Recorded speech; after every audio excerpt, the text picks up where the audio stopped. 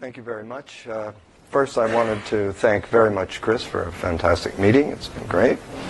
And um, it's a real pleasure to talk to you about some of the work I've been doing with um, Mark Lawson over the last few years. And uh, it'll be a combination of many things you just saw, so I won't be as fancy a effect, effectus theory um, level as, as previous. I'll just be very elementary. But I hope to at least tell you a little bit about the stuff. However, because I have far too many slides, I will, in fact, probably stop and tell you stories from time to time instead. Uh, but let me just uh, uh, say what are, what are um, many valued logics? So these are logics whose uh, truth values are uh, originally developed, the truth values were in the interval 0, 1. And um, they were developed in the 1920s in the Polish school by Łukasiewicz and uh, one of the students there named Tarski. And uh, they wrote a series of papers on them. And they were, Łukasiewicz was interested not just in infinite valued logics, but in finite ones. And I'll talk a little bit about them. Uh, also, Post in the United States, but Post was actually Polish, was uh, also working in these many valued logics. But it's kind of very old fashioned logic of the Hilbert style. And uh, then, uh, roughly, it's a funny subject. Every 30 years, something happens. Uh, uh so, um, in, uh, in the 1950s, Chang, the model theorist, uh, decided, as we heard in Mark's talk, associated to any logic, you can get an algebra by looking at the so-called Lindenbaum-Tarski algebra. So, two formulas are considered equivalent in a logic if and only if you can prove one implies the other and vice versa. And the equivalence classes then are given an algebraic structure depending on your propositional operators. So, for example, in a classical logic, you'd get Boolean algebras. In tuitionistic logic, you get Heyting algebras. And for many valued logics, you get MV algebras. And uh, then what uh, uh Robert McNaughton, a computer scientist, uh, well, became a famous computer scientist in those days, was a mathematician, in his PhD thesis uh, wrote a fantastic, uh, found a fantastic theorem which gave a, um, actually before Chang invented MV algebras, a few years before. And he just said, what is the Lindenbaum-Tarski algebra of many-valued logic? That is, what, in our language, what is the free MV algebra? What does it look like? And he gave a topological characterization, very nice topological characterization. And I'll maybe mention that later. Then uh, we begin, the, uh, 30 years later, the uh, world of Mundici. So Daniele Mundici has developed a very powerful big school in uh, Italy uh, with colleagues and students. And um, already in the, um, he discovered that MV algebras have a very rich uh, mathematical structure, geometric, algebraic, topological. Um, he also showed that a very surprising result, which I'll be talking about, the deep connection of um, MV algebras with, number one, lattice ordered abelian groups, but countable MV algebras with AFC star algebras. And this was, came as a big surprise to people.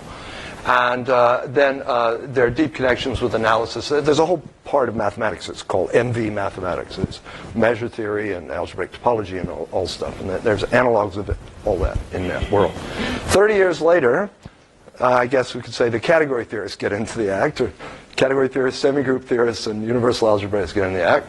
And uh, so it starts with uh, uh Eduardo Dubuc, a topos theorist, who gave the first sheaf representation of MV algebras, and then Maya Gehrke has been uh, in, uh, working on that. Then in the more recent topos literature, there's Morita equivalence, the general theory of Morita equivalence for coherent theories, algebraic in the sense of topos theory, coherent theories, uh, Olivia Caramello has shown how to look at uh, Morita equivalents for MV algebras. Uh, right here in Edinburgh, um, um, Alex Simpson worked in um, uh, adding uh, mu, that is, uh, least fixed point operators, to uh, Łukasiewicz logics. And then more, and then really what this talks about is the coordinatization theorem. So this is um, Mark, Mark and I and Fred Wehrung and uh, Mundici himself, uh, we've been looking at using Boolean inverse monoids to um, coordinatize in the sense of von Neumann's continuous geometry, coordinatize MV algebra. So that's the program. Uh, of course, I won't be able to finish it today. But so what are all these things? What are these MV algebras, keep saying? So what are MV algebras? It's very simple. They're a very simple structure. They're just a commutative monoid where it has an involution on it, so not not x is x. The negation of 0, of the unit, is uh, absorbing, so x plus 1 is 1. And finally, there's this weird axiom, not not x plus y plus y is not not y plus x plus x. The two sides are the same except you flip x and y. And so uh, you might wonder what, what are examples of these things. But before giving some examples, I'll point out that it took 60 years for people to realize, in fact, the commutative law is not needed. It's a consequence of the other laws. So that's kind of curious. Um, an example is a Boolean algebra, where the plus is join, and uh, negation is the Boolean complement. And then this funny equation is often called Chang's equation. Uh, Chang's equation there just says that join is commutative if you just unwind it. So eh, that's fine, but these are that's not really very in- interesting. The fundamental, uh, uh, one of the fundamental, in a precise sense, example is the interval 0, 1. And the interval 0, 1, eh, where you take the kind of probabilistic definition, not x is 1 minus x, and x plus y is x plus y if it's less than or equal to 1, and you just cut it off at 1 if it's bigger than 1. In a few minutes, by the way, keep this in mind, in a few minutes I'm going to say x plus y is undefined if it's bigger than 1. Those are partial, those are going to be the effect algebras. But MV algebras were much earlier, and uh, they're total algebras. Um, and you can look at the same exact arithmetic but just look at rationals in 0, 1 and dyadic rationals in 0, 1, or you could even look at finite number of points. These are the finite MV algebras. Um, maybe it's time for a story. Um, so, uh, Łukasiewicz was a very traditional logician. He was very interested in, very scholarly man. And he was very bothered by what, traditionally, what would many-valued logic be? What is three-valued logic or five-valued logic? What is this? let alone the infinite. He already, in Tarski, already realized that you could have these infinite valued logics. But, but it, even the finite ones, he was bothered. And then it turned out another Polish logician, uh, 10 years later in that school, named Ulam, actually had an interesting idea of how to interpret this. So I'm going to play a game, say with Mark. and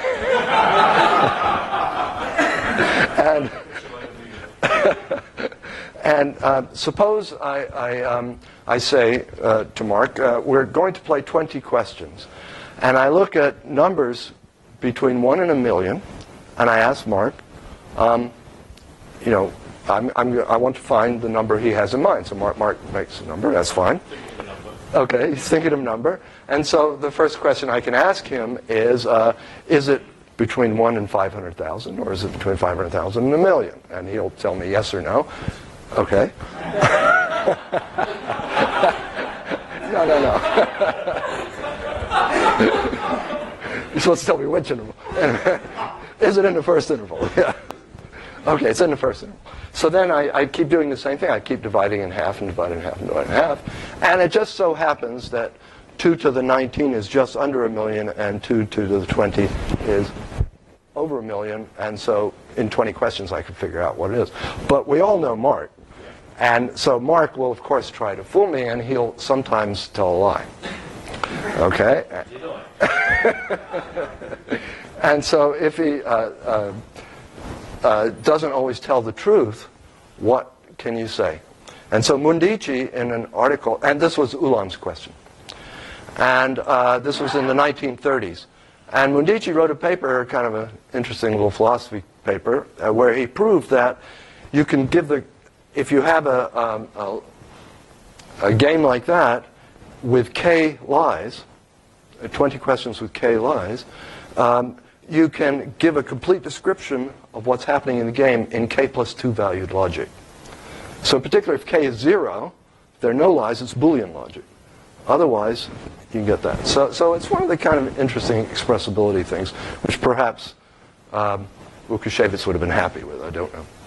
But anyway, um, a, a, second example of an MV algebra now is a lattice ordered abelian group. So you take an ordered abelian group, um, a partially ordered uh, abelian group that has a translation invariant partial order, and if the order happens to be a lattice, it's called an L group. And then an L group has a positive cone. And in fact, uh, people are interested in axiomatizing these by putting axioms on the positive cone, but I won't bother about that. But you can say that you have an order unit in an L group, or sometimes a strong order unit, or an Archimedean order unit, if there's an element U, so that every element, imagine you're laying off with a ruler along the line. So in this case, uh, Achilles definitely passes the tortoise. That there's every element G is eventually passed by U plus U plus U n times for something. Okay, so that, that is uh, an L group with an order unit. And so uh, if you have such a thing, we can form a, um, uh, an interval, which is all the, thing, all the elements between 0 and U. It's just a poset now, even though it looks like an interval, but it's just a poset. But if it is actually a totally ordered thing, it's called a chain. Okay, so now if you, if you associate to any L group with an order unit the interval 0U with the plus for the linear logicians, I stuck in tensor just as a De Morgan dual of plus, just in case you like that stuff. Uh, and uh, star 0, 1. And so then x plus y is the cutoff of x plus y by using the lattice operation. x star is u minus x, and 1 is u, and 0 is the 0. And all the previous examples that I gave are all special cases of this. But Mundici realized something else. This gamma operation, which assigns GU, to a, uh, an MV algebra is functorial. Not only is it functorial, we can say more, that uh, let MV, now this is an equational category of algebras. MV is a, a total equational category.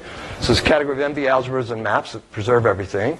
And you look at the, the category of L groups and structure preserving maps, then Mundici's first theorem, which he very modestly, what's going on here? Oh, he very modestly said uh, this is essentially just souping up Chang. But anyway, it induces an equivalence of categories between lattice-ordered uh, these groups and MV algebras, which takes G into there. The essential surjectivity of it is the tricky part, and that's what I'll come back to via effect algebras, a different proof than Mundici's. Um, I should say here, this hides something. That there's something here, if you're a category theorist, it's a little bit bothering, bothersome. And I'll, I'll probably come back to it later, but I'll just mention. MV algebras is an equational category. It's an equational class. These things are not even first order definable. Archimedean order unit is not even first order definable. So here you have a category which is equivalent to another category that's not even definable first order logic. So, so you have to be uh, a little bit uh, cautious here. Therefore, the category equivalence will not necessarily preserve theorems between the two subjects, and I'll come back to that. Um, so, what are some theorems? I'll stick to the infinite Lucas logic. Some theorems. The Chang completeness theorem was the first thing, and essentially it says for a universal algebraist that the equational variety uh, is completely determined by 0, 1. What that means is an equation in the language of MV algebras is true in 0, 1, if and only if it's true in any MV algebra. So you can use that both forwards and backwards. If you want to know if something is true in every MV algebra, you can check it in 0, 1. Conversely, if it's true in 0, 1, it's true in any MV algebra. So it's kind of a useful thing. That's a completeness theorem. Um, those are the equations I wrote in the previous slide.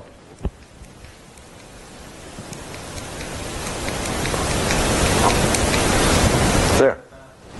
Those equations. Okay. So, um, just equations? Do you mean formulas as well? Quantifiers and things? No, it's, they're universal, universally quantified equations. It's just an equational theory. Yeah. yeah. I think you're talking about two different things.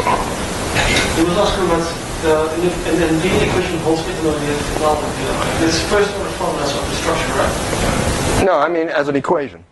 An equation in the language, an equation in the language so it's a first order lang- language with universal quantifiers, and that's it, and equations. Okay, so a formula in that language. Yeah.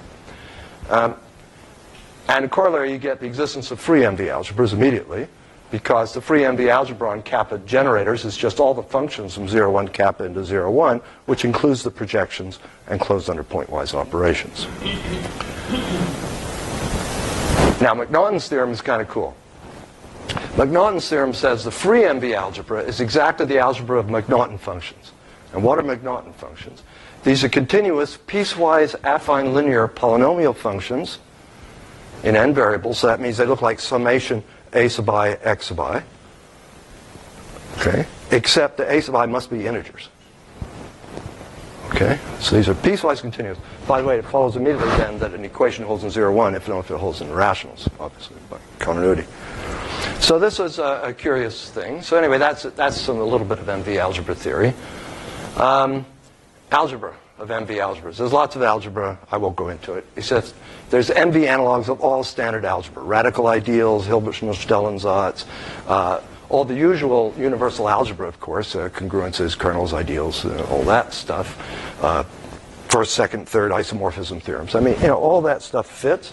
Also, uh, spectral spaces. Uh, there's a whole. Any, just take your standard graduate course in algebra. It's all done. Can be done in MV theory. Um, I thought I would briefly mention some geometry of MV algebras. And uh, there's a whole fancy slide here. Only, only thing we need is this. A rational polyhedron is a union of finitely many rational polytopes. These are subsets of Rn definable by MV terms. So, what are the maps between polytopes? Well, it turns out that in the literature they already existed in algebraic geometry, funny enough. If you take, we're going to look at McNaughton functions, but now on R instead of 0, 1. In fact, it was McNaughton's observation that these things from algebraic geometry, he said, ah, when I actually look at the MV terms, they always land in 0, 1 instead of in R. But he said, okay, let's just look at piecewise McNaughton functions, that is piecewise linear, uh, uh, affine linear with integer coefficients, continuous functions, and uh, from uh, a subset of Rn to R, that's called a Z map. So that's what they call them. And now, if you take two P and Q subsets of Rn, a Z map from P to Q is one whose projection, each component is a Z map. So these are McNaughton functions from Rn to R. And these are the continuous transformations of polyhedra definable by MV terms. So here's one of the standard uh, results in the uh, um, Mundici school, the Marra and Spada, that the category finally presented MV algebras and homomorphisms is equivalent to the opposite of the category of rational polyhedra and Z maps. Which you might think is, ah, it's a very technical result. Who would possibly wonder about that? But now I'm going to tell you this funny story. Um, it turned out that there was abelian lattice-ordered L group theory, and there's MV algebra theory, and they're separate branches of mathematics, and they each proved a bunch of theorems which are exactly analogous to each other, neither one knowing the other one, what the other was doing. And moreover, because of what I mentioned earlier, the theorems don't transfer by the Mundici equivalence. They don't actually transfer. But I'll just, uh, the person involved here is Beynon, an interesting English um, uh, topologist. Here was a typical Beynon theorem. The full subcategory of the category of finitely, present, generated lattice-ordered abelian groups uh, is equivalent to the dual of the category whose objects are rational Euclidean closed polyhedral cones, blah, blah, blah. So I won't go into that except to mention this is a chart from one of his papers of Marra and Mundici. The MV world is on the left, and the L world, L group's world is on the right. And had a whole series of Chang's theorem, Weinberg's theorem, McNaughton's theorem, Beynon's theorem. Free algebras exist, free L groups exist. You go on and on and on, done completely independently of each other. Usually MV people did it first, but not always. And neither one knew what the other one was doing. Okay. Um, okay. This was way before Mundici. This was in the 70s. So, so this. Okay. So now we're going to move to effect algebras. And here uh, I was. Stay. Stein. I wanted to mention. Uh, uh, I was particularly uh, happy when you mentioned about measurement theory yesterday that you, me- you mentioned that when you do experiments, we take a classical viewpoint. And this is very important. Um, um, we're going to be interested in or uh, effects. And uh, the, uh, these are effects of measurements, but we're going to take physics from the viewpoint of classical. The instruments are classical, even if you're observing quantum phenomena. And, and it's very important that effects are, are done uh, uh, in this classical uh, uh, observational way. And so you have a complex Hilbert space of a quantum system, and there's a theory called quantum measurement, where people have studied a lot, but again, it's using classical effects, uh, classical observations, sorry. And so here is kind of more old-fashioned treatment than the fancy new effectus theory, but uh, of effect algebras. Uh, this was Foulis and Bennett. This was in 94, but it's funny, the other paper actually occurred earlier, but anyway.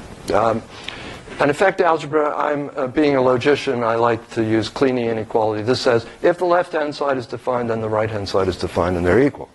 So this is a partial commutative monoid, where uh, in addition, so it's, an, uh, it's a, a set with a partial operation and two constants, 0 and 1. And if 0 plus a is, is defined, then uh, 0 plus a is equal to a. The other thing is we demand it's orthocomplemented. For every a, there is a unique a prime, such that a plus a prime is 1. That means it's defined n equal 1. And finally, if a plus 1 is defined, then a is 0. It's called 0-1 law.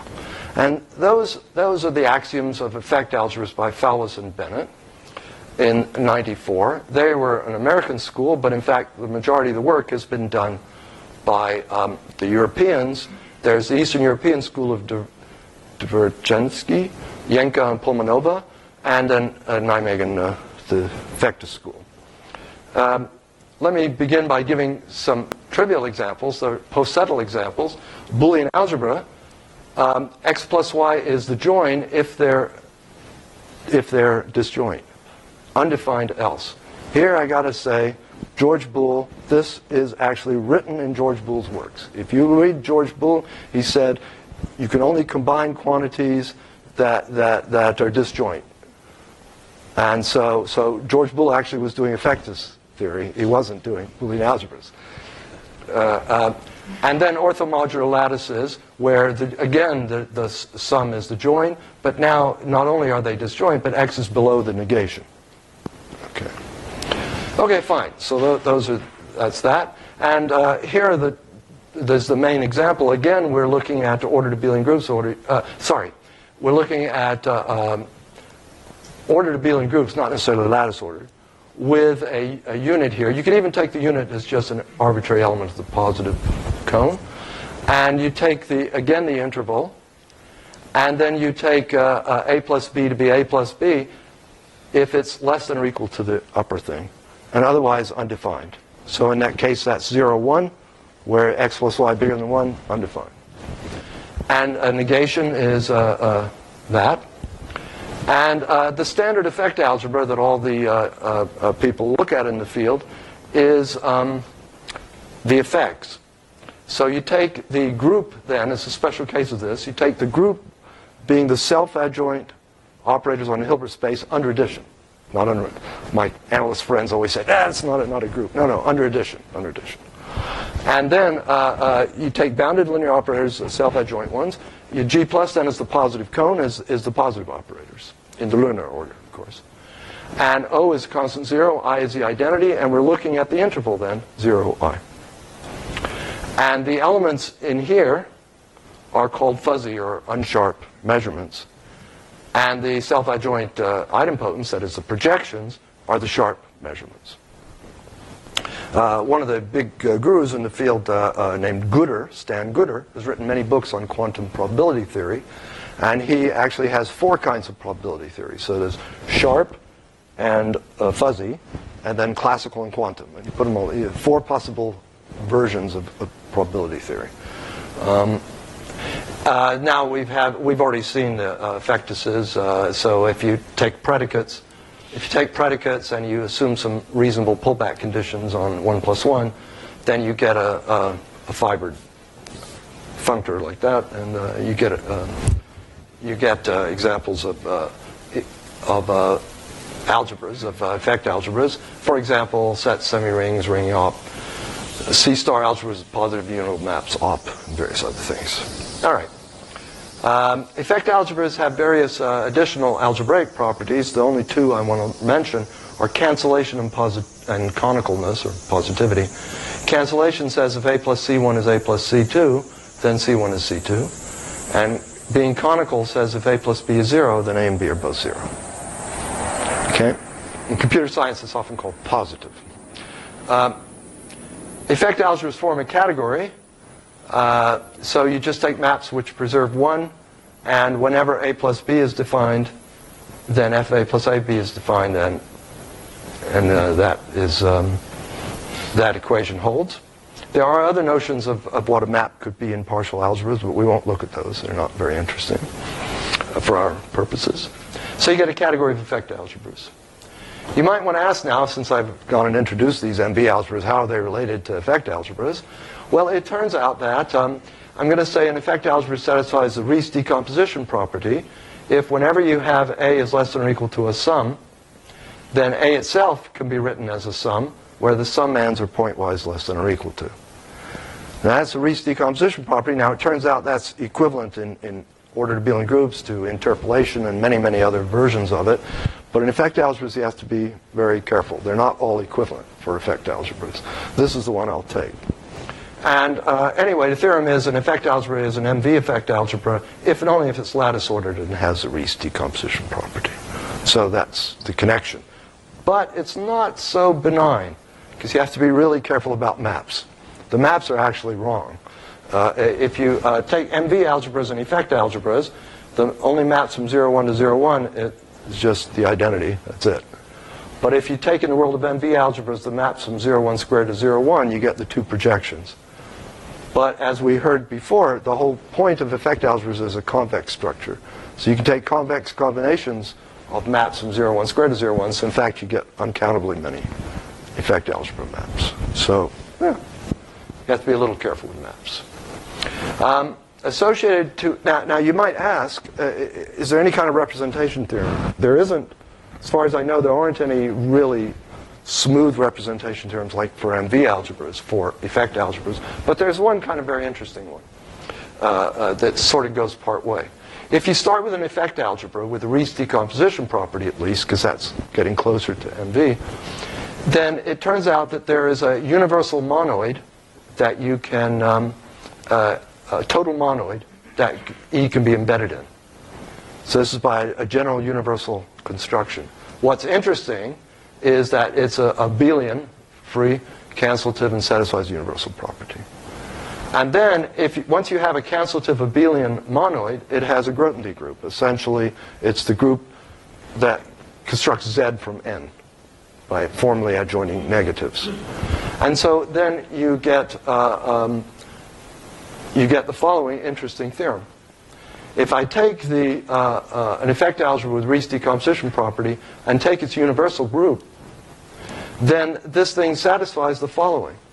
That if I take the image of 1 under this map, that gives me an element, and it turns out that E is isomorphic to that unit interval, that, that, that poset. So it's an interval effect algebra. They, interval effect algebra in the, its universal group. And moreover, if uh, it actually turned out that it started out was an, was an MV algebra to begin with, then it turns out this is actually an L group. And this gives you back Mundici's theorem by this strange sideways route. Um, I don't think I'll have time to, to talk about the proof. It's kind of a very interesting proof. It's due to, Rein, it's due to some techniques due to Reinhold Baer in 1949. But I'll, I'll think I'll skip that proof. And let me, since I advertised AFC star algebras, let me briefly mention what they are. So we've already heard uh, uh, AFC star algebras, but I'll just mention that a finite dimensional C star algebra is just a direct product of matrix algebras, complex matrix algebras of those sizes. And it turns out that the list of, of sizes there is an invariant. And AFC star algebras uh, are those which are, uh, AF means approximately finite. That means they're co-limits uh, by Bratteli. Bratteli was the one who introduced that terminology, I guess. Co-limits of um, finite dimensional C-star algebras and certain kinds of star algebra maps. And these are called uh, standard maps. And I want to mention them very briefly. Um, so I'm sorry, this is kind of a busy looking slide. But here I have one MV, uh, uh, sorry, one uh, uh, finite dimensional C-star algebra, and I have another. So two direct products of matrices, algebras. And I want to define a map from A to B. Since this is a product, I'll just go into one component. So how do you go into one component? You take a tuple of matrices here, K matrices, and you just stick them as block diagonal matrices along the diagonal. How many times do you do it? Well, you put them in a certain number of times. Scatter these Sij's. There's a number of multiplicities you put along the diagonal. And those are called multiplicities, and, but it has to fit. And it has to be unital, the, the map that I'm building. So I have to demand that the sizes add up to the size of the matrix you're mapping into. And then I do it for tuples, and that's called a standard star map. And, and then the theorem, and it's determined, of course, by this matrix of these, of these uh, multiplicities, uh, integer matrix multiplicities. So uh, then the theorem of Bratteli is that any C-star algebra is isomorphic to a colimit of a system of matricial C-star algebras and standard map, maps, which is the same thing as saying morally you have, you have a union of a kind of a chain of these things and you close it up. That, that's what an AF C-star algebra is. Uh, now, Bratteli introduced them, oops, Bratteli introduced some important uh, diagrammatic uh, uh, language. I don't know if I'll, I'll spend a little bit, a tiny amount of time here. Uh, so a Bratteli diagram then, uh, what we developed these, this calculus, or he did, where you have vertices, and you start off with a root at the top, and then you go down, although I'll be actually writing them sideways. Um, and at level i, you say you put those, those sizes of the matrices. At the next level down, you have another sizes of the matrices. And then you have edges, directed edges going down. How many edges do you have? Sij, those coefficients, the number of, of flips. And so I, I wrote, I don't know if you can see this, I actually wrote one out of Vaughan Jones's uh, lectures, uh, one of his, he says if you take C plus M2 into M3 plus M5 plus M2, so I'll just do one level of this Bratteli diagram. He says you take XA and you map it to XA on the diagonal here, XA goes to XAA here because it has to be dimension 5, and then A goes to A. And then you can, you can just draw a number of connections and that, that's anyway, that's a, the, the way that they do it. And there's a whole technology of these things. And it's a separate branch of math. I'm not sure I know how to do this. Ah, no, that's not right. No. Is that right? No, that's too dark. What happened? There's a instruction on the wall, it's number two. Number two. Okay. Oh, okay. So, um, anyway, uh, there's quite a technology of these things. And the point is that you can associate to one of these diagrams at each level Z, Z, Z, Z, Z. So you have Z to the K. And you use that number, M1 to MK, as the order unit. And that gives me an L group, an order unit. And then the going down the diagram gives me a series of star maps. And I take a colimit along these things. And those colimits, colimits of those groups are called dimension groups. And they've been separately. Now, and so then, anyway, uh, George Elliott was very interested in classifying these AFC star algebras. And he started this program. So here's another little story. He started this program, and um, and apparently, I, I understand that uh, when he first did it, people were a little bothered because he constructed a partial monoid in there, and he used that. He used manipulations with this partial monoid. And this more modern viewpoint, which was David Handelman and the others brought in, and they said, no, no, forget this partial stuff. That's not, you know, not the way we do things. Use this. And then when he did this, everybody was interested. But the important thing was that partial monoid was an effect algebra. So he was already ahead of the game uh, um, um, and his classification. So it's a big mathematical project is the classification of these things. So um, I'll just mention, uh, well, here I don't have much time. If you know what a K0 group is, that's fine. If you don't, what you do is you look at idempotents as a category, so so-called Karoubi envelope. And you look at isomorphisms of idempotents, and then uh, what you want to do is then to construct an abelian group or a partially ordered abelian group out of these isomorphism classes by taking the, int the Grothendieck construction on top of that. And so it turns out it's rather tricky for AFC star algebras. If you look in Goodearl's book, it takes many pages to prove the main theorems.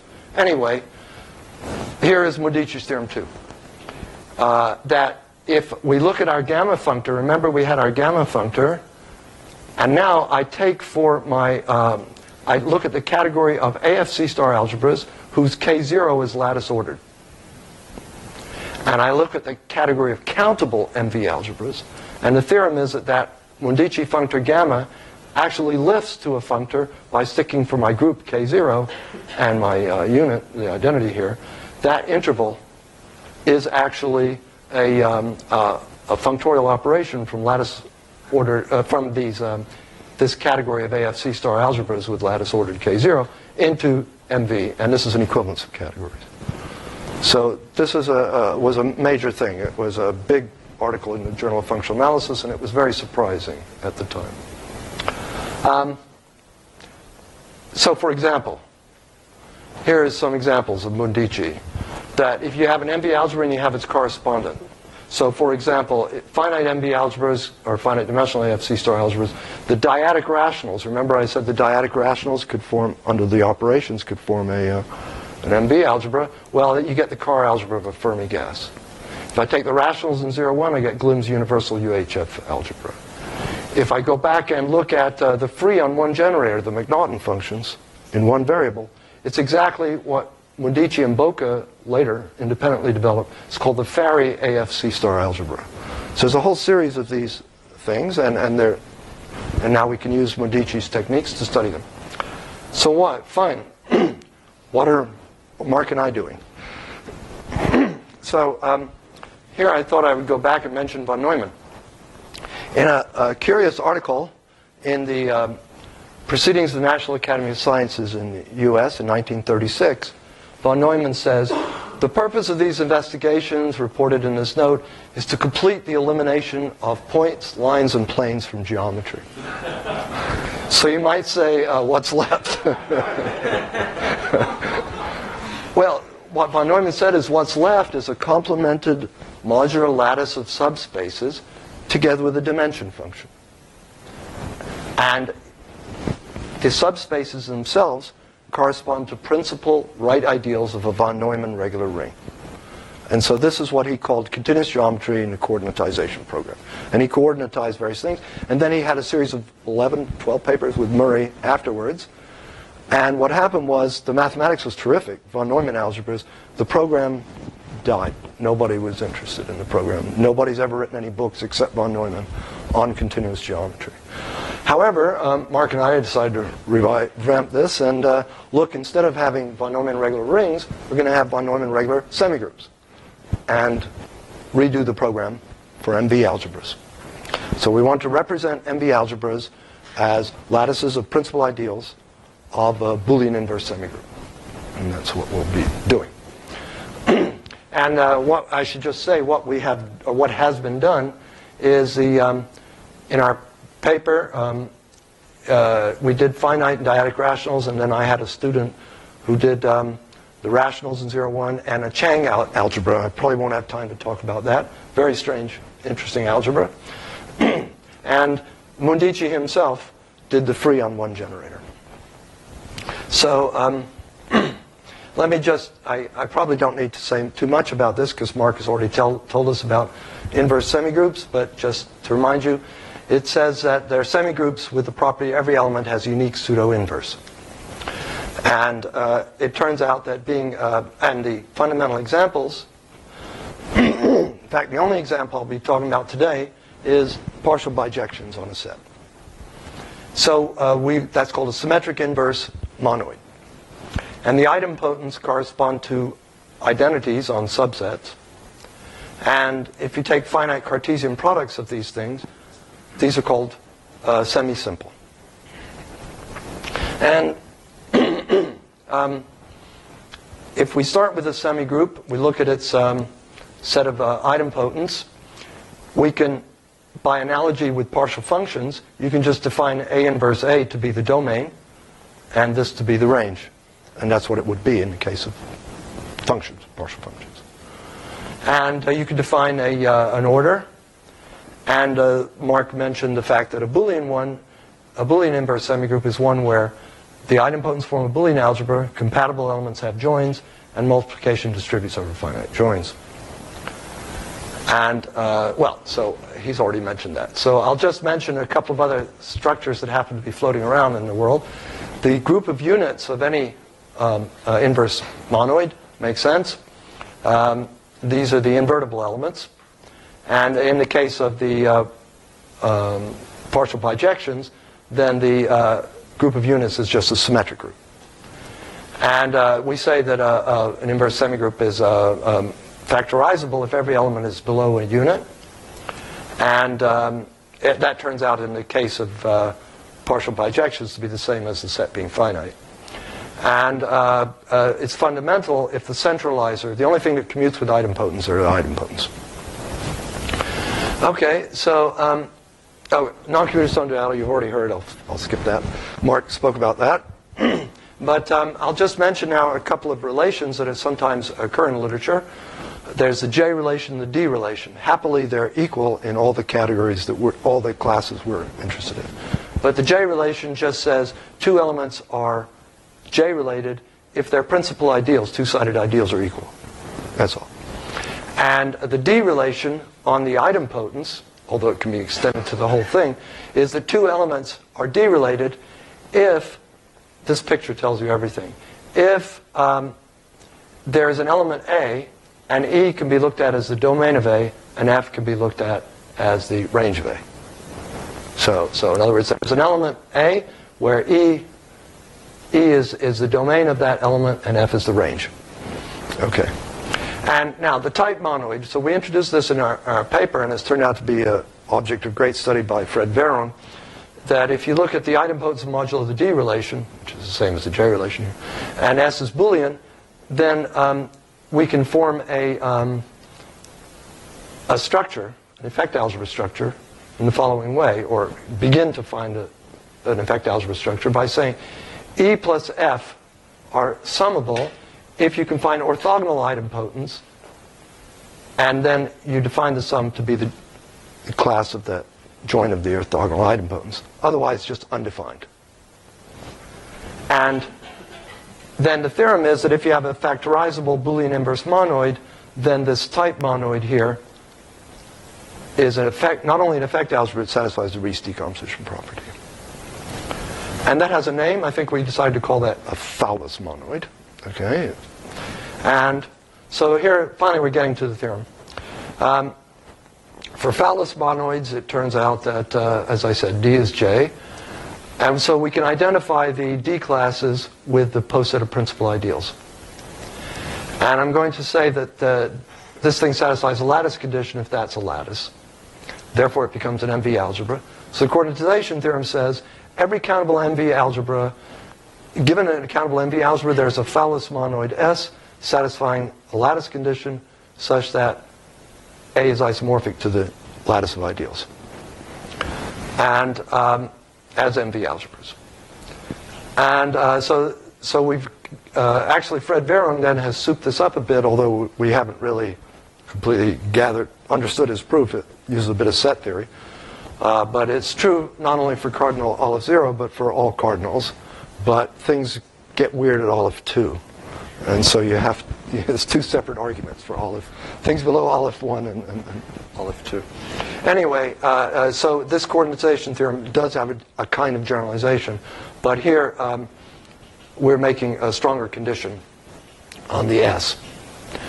So um, now you might ask, how would you do this? And one way to do it, now here I'm being very rough, but if you take your Bratteli diagrams, remember every place we put a Z in there. And we took the colimit, we got these dimension groups. So instead of doing that, just put, put the matrix, matrix associated to a partial bijection. so that's a, a, what's called a Rook matrix. It's one where every row and column have at most one, one. So you do the whole thing. So the partial bijections are the same, obviously the same thing as a Rook matrix because you just say the ijth element is 1 if f of j is equal to i. So, so that gives you a, a, a bijection between INs and Rook matrices. Do the whole theory for Rook matrices. And here's what happens. you have your Bratteli diagram here, and at each level, instead of putting z to the something, you put the partial bijections on a set of cardinality um, um, well, if you had M1 to MK as the tuple of dimensions, you just take IM1 cross cross cross IMK. And those, and those uh, special maps, it turns out there's a very pretty theory of special maps that's the analog in, in, in, uh, of the ones in uh, Bratteli maps.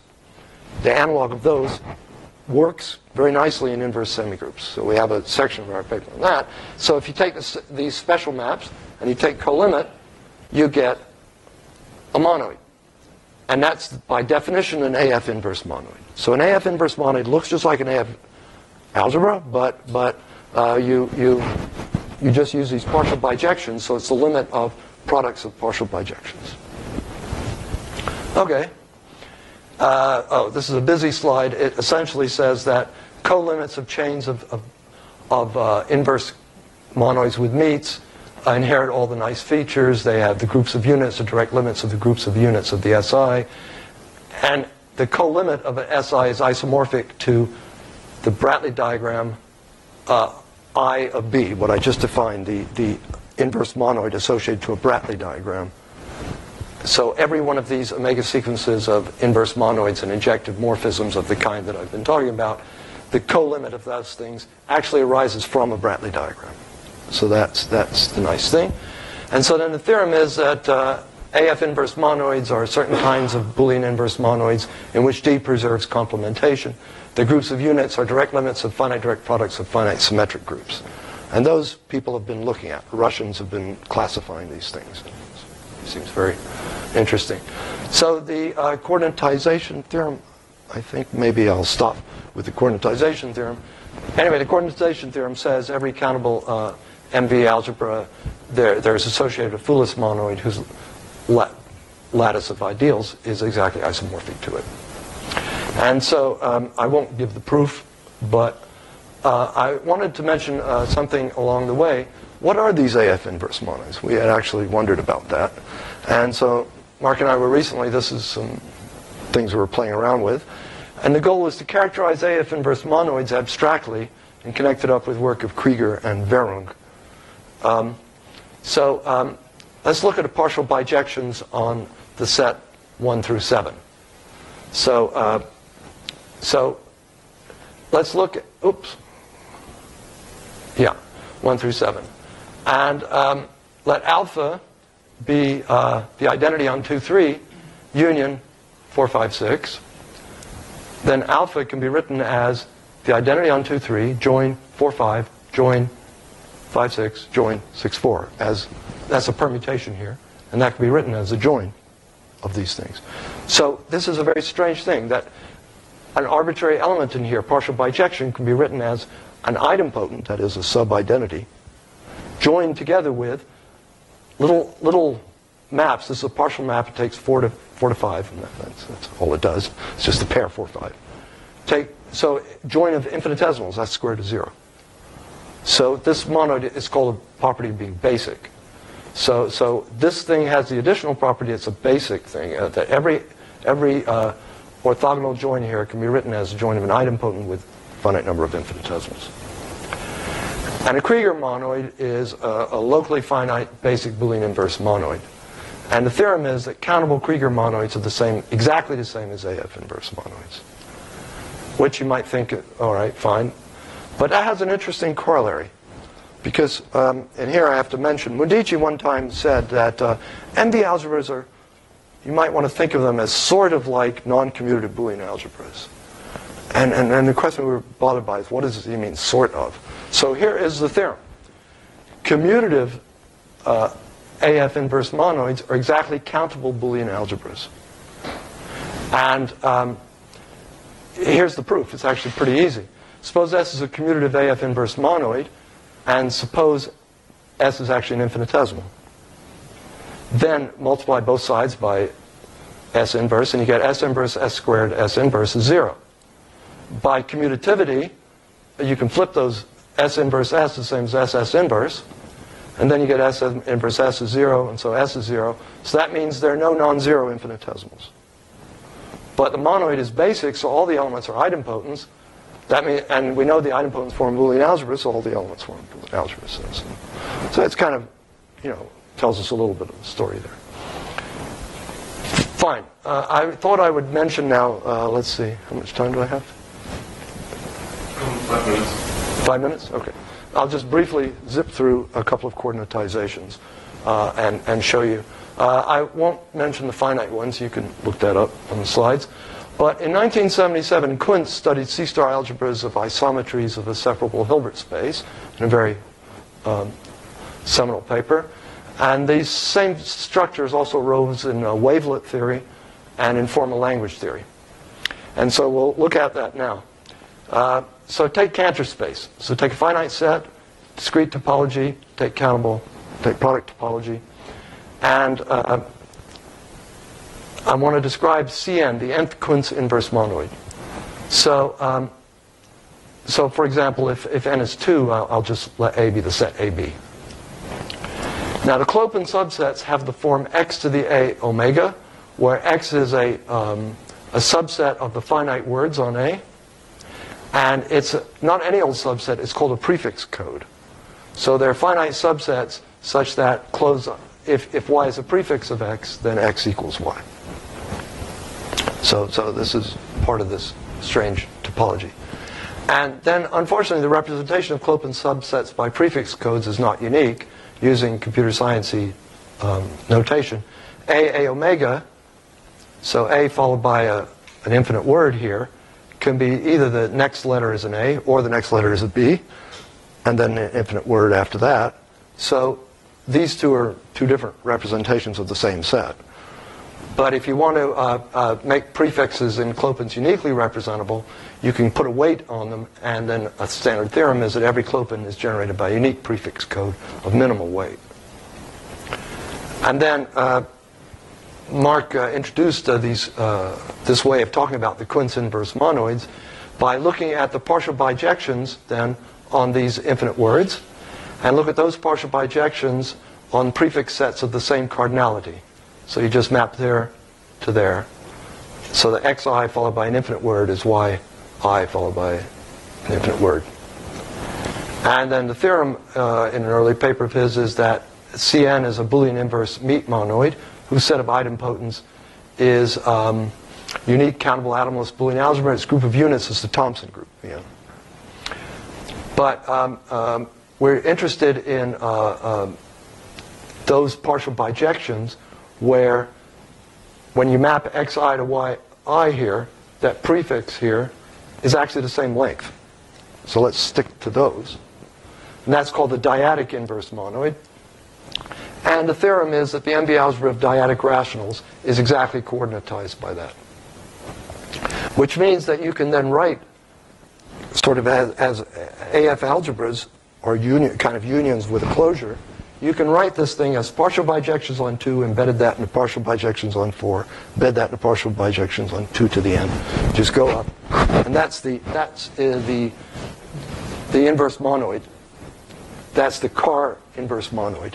And that's the uh, associated to the CAR algebra of a Fermi gas. By the way, if, if you care about that, the group of units of those things is going to be a colimit of the symmetric group on, on 2, on 4, on 8. So a colimit of that class of groups. Um, okay, so to go through the whole proof, though, it involved a lot of a bit of work of Handelman and Bernoulli measures and so on. So I'll, I'll skip that. But it was a kind of interesting uh, uh, proof. Just wanted to mention some. Uh, I had a master student who decided to work on some of this stuff, and he got interested in um, the, the rationals in, in 0, 1. And so he said a sequence of numbers is omnidivisional if it satisfies, that the sequence satisfies ni divides ni plus 1 for every i. And for every m, there is an i such that m divides ni. And if you look, for example, at n factorial, that's an example of an omnidivisional one. And then uh, the theorem is that uh, if you have an omnidivisional sequence, then if you take, you can very carefully define embeddings of one into the other. So these are going to be the analog of those um, kind of Bratteli maps, and they're kind of carefully defined. But you can define a set of standard embeddings from one partial bijection into next, into the next, into next, indexed by uh, uh, omnidivisional sequence, and the theorem is that, the colimit of that, coordinatizes the rationals. Okay? And uh, well, I think I'll perhaps stop here. Thank you.